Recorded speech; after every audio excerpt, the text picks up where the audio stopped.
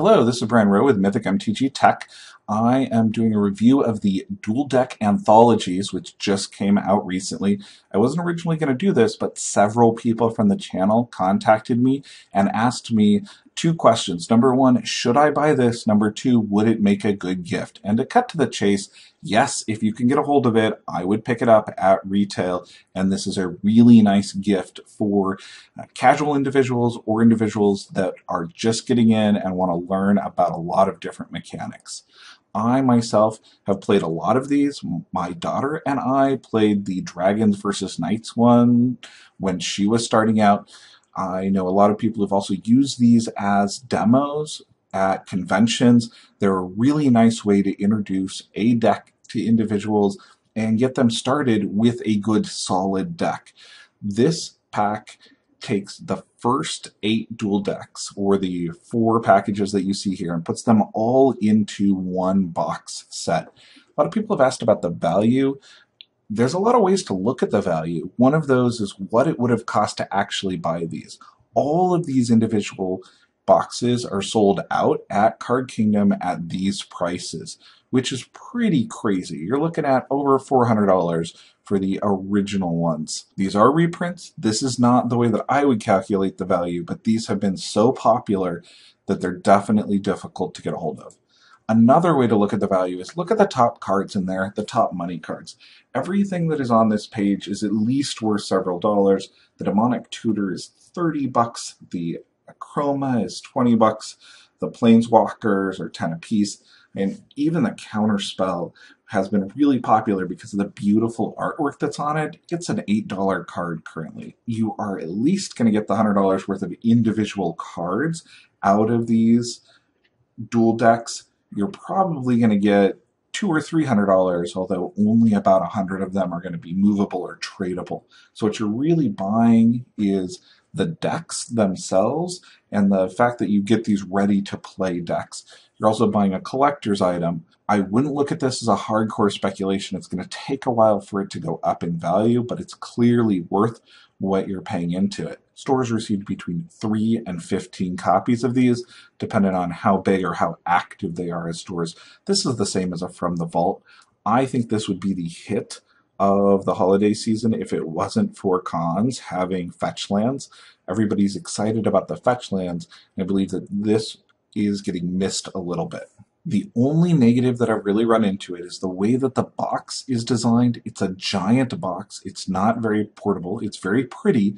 And the inside boxes are only cardboard. So as you start to open them up, they can come apart. And when I open up the green one, as you'll see in the opening, that's going to come up here, the deck box starts to fall apart. I would have liked to have seen higher quality deck boxes in a $100 product. The dice are beautiful, the graphic design is great. Overall, I'm very happy with this. This is the only downside that I see to it. Hey guys, this is Brian Rowe with Mythic MTG Tech doing a pack opening here, a special type of pack though. It's the Magic the Gathering Duel Deck Anthologies. This just came out this last week. I'm super happy that I was able to get a copy of it for retail from Phoenix Comics here in Seattle. They're up on Capitol Hill. Great little magic shop that also has a wonderful selection of comic books. They do RPGs, board games, other stuff like that. So, uh, thank you, Nick, for selling me one of these. I greatly appreciate it. This is going to be fun to open. Um, one of the reasons I really like the dual decks is because the dual decks is one of the ways that I got my daughter into playing. She really liked the themes that they had. Uh, we played the Dragons versus Knights one several times. Um, I'm a big fan of the Izzet versus Golgari that came out recently, which is one of the more complicated ones. Um, a few of these dual decks, though, I don't actually own.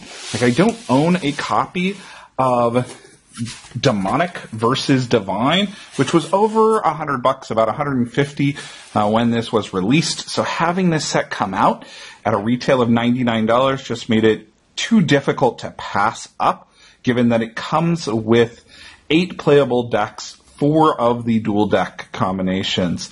So it has Elves versus Goblins, Jace versus Chandra, Garruk versus Liliana, and Divine versus Demonic. There are a lot of cards in here that are worth the one to five dollars that make it well worth the value. The most expensive card in here is going to be Demonic Tutor, which I will show off when we get to it. Uh, but I'm going to quickly run through these. Uh, they did a really good job, once again, with the premier packaging. I think it's a little bit on the large size, personally. They could have downscaled this a little bit, uh, but it's very beautiful. Looks really, really nice. Cardboard out here. Let's move on to cracking into this.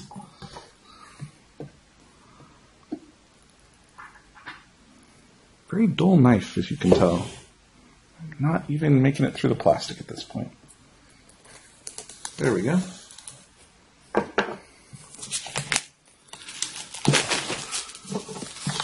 Oh, this back piece is just a insert.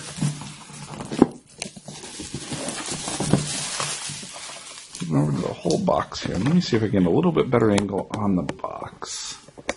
So we open this up.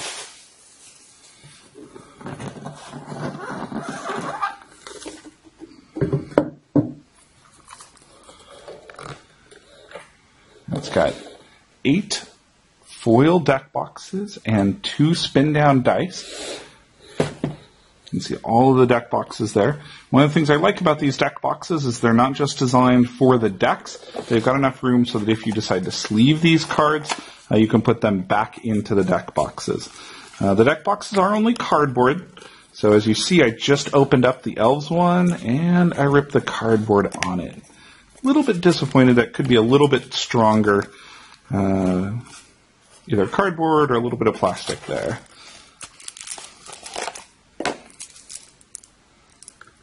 Each of these decks has one foil card, which is going to be on the front uh, to it. Let's cruise through these pretty quickly.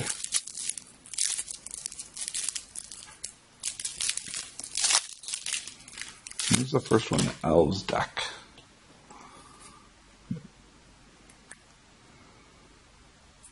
Ambush Commander, Palace Rider, Voice of the Woods, Slate of Ancestry, Oh, nice. It comes with the tokens. Very glad to see those. Tokens always make decks a lot more fun to play. I think the tokens are actually worth more than commons. No shortage on tokens. That's good. Lots of tokens here. Elvish Eulogist, Elvish Harbinger, Elvish Warrior, Gem-Palm Strider, and this one.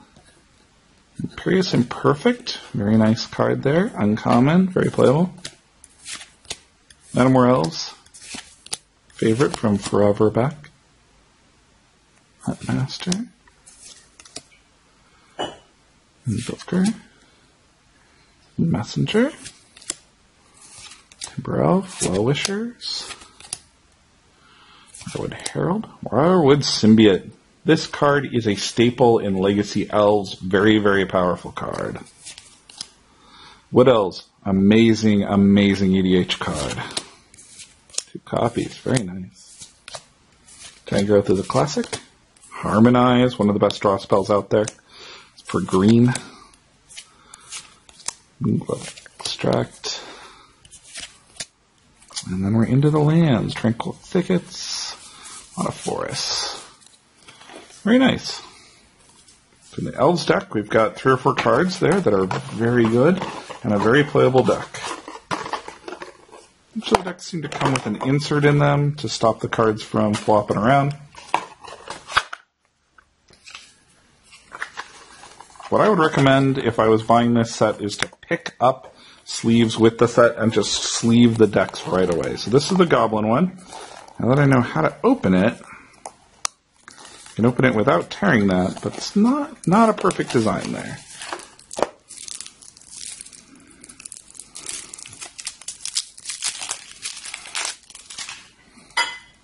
So we got Siege Gang Commander right off the top.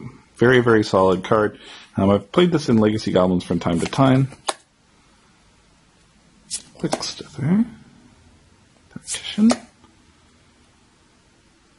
Fire Marshal. Coal Fighter. Emperor Augur, Invoker, Gem Palm Incinerator, staple card in Legacy Goblins. Goblin Matron, another staple card in Legacy Goblins. Goblin Ringleader, another staple card in Legacy Goblins. Fanatic used to be better when damage stacked. Prospector is a combo piece.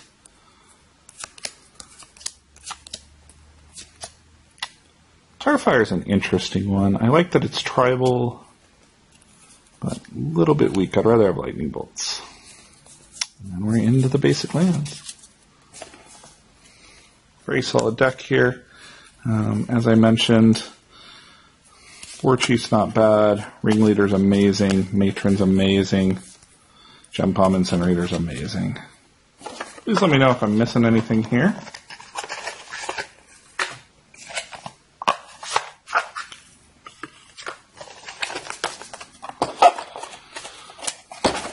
Jace versus Chandra. Let's the Jace here. Very nice foil Jace.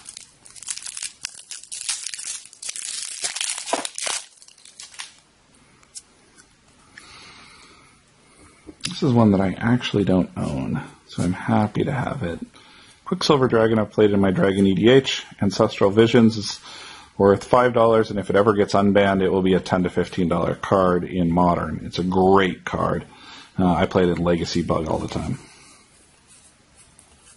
Bottle Gnome's very solid. Man-o'-War I won lots of games with, and Ophidian. Water Spout I used to actually play a lot also. Mulldrifter is one of the best uh, three caster divinations or five casters out there. It's a nice cube card also. Daze. That's a few dollar card right there. And then these beautiful Jace versus Chandra counter spells. I really like the artwork on these. Fact or Fiction is another great card. Gush is a wonderful card. And then we're into Islands. Very, very nice. Let me quickly pull up what I think the best cards out of here are. Ancestral Visions. Please let me know if I'm missing anything. Daze. Beautiful counter spells. Fact or Fiction. Gush. With the emphasis being on Daze, Ancestral Visions, and Jace.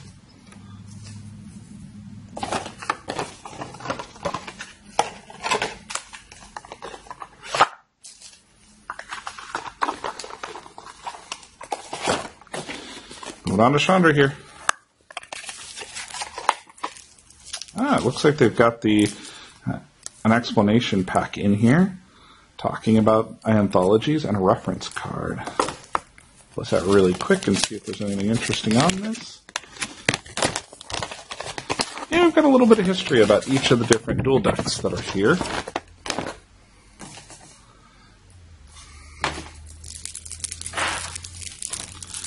We have the Chandra deck here.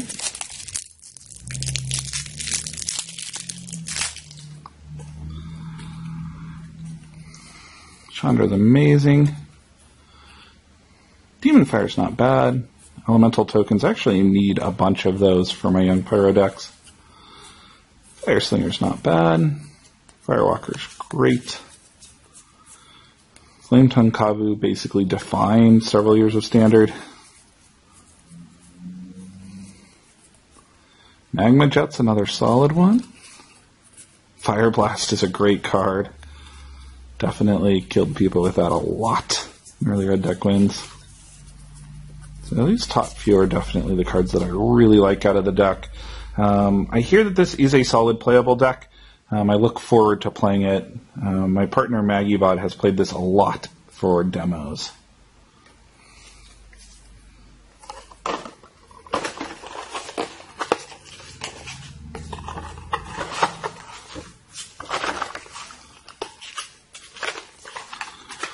Okay, Liliana.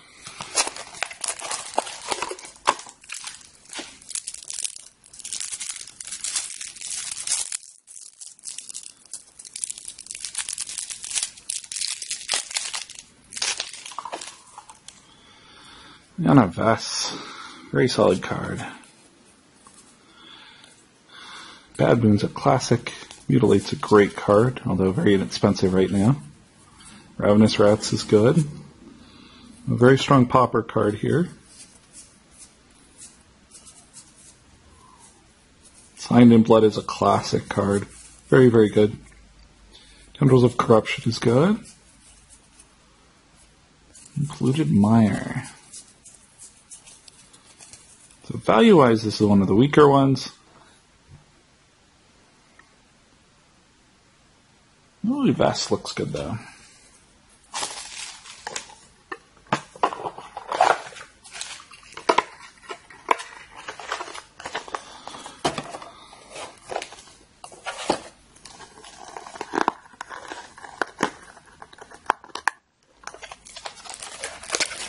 Moving into the Garruk.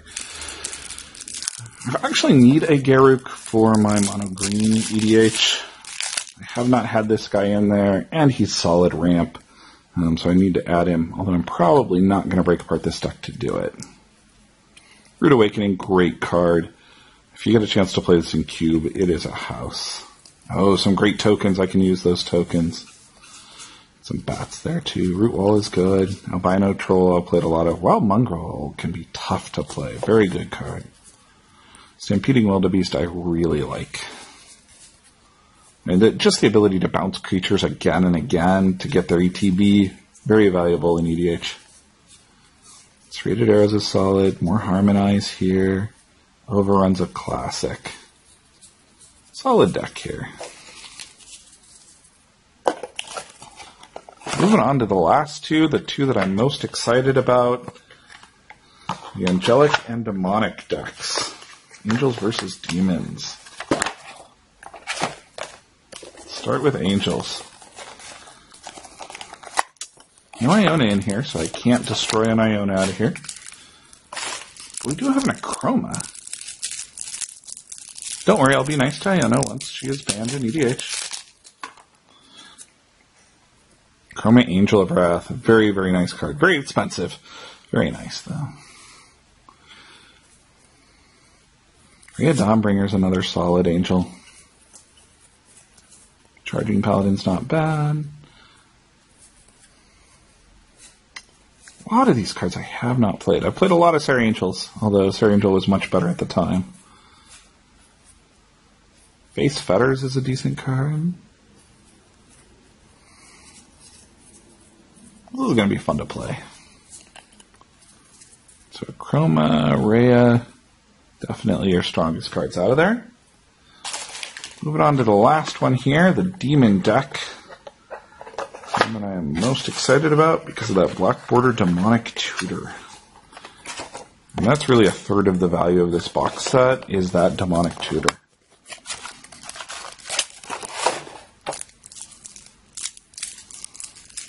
Lord of the Pit, classic card. I remember thinking it was cool when I was a kid until I actually played it and it killed me again and again. Upkeep on it is just too harsh. Our Demon? Promise of Power. Very, very nice card. Oh, some beautiful tokens in here. Even Thrall tokens. Oh, Thralls. Stinkweed Imp. Nice dredge card there. Soul Drinkers, Fallen Angels, Dark Rituals, that's a classic. Duress, Unholy Strength, Cruel Edict, and Demonic Tutor. There we go. Now is the time to start to pick up these Black Border Demonic Tutors. Anybody has them for trade, they're just great. Uh, playable in Vintage, playable in EDH, banned in Legacy, but amazingly good card. Consume Spirit there. Very nice deck overall. Very happy with the Demonic Tutor. Yeah. Two D20s here. This is a recommendation to buy it at retail if you can get a hold of it. If you pay a few dollars over retail, long term, I think you'll get your money back. It is ideal though for new players, for casual players, and for collectors this is not for your hardcore legacy spikes or short-term speculators. Thank you to everybody who's out there supporting the channel on Patreon. I greatly appreciate it. I'm working on some pack openings this weekend and several more videos next week. I'm going to be doing a deck tech next week. Uh, it's either going to be legacy or vintage for this deck tech. Uh, next month, I'll be looking at another EDH deck tech. Thanks.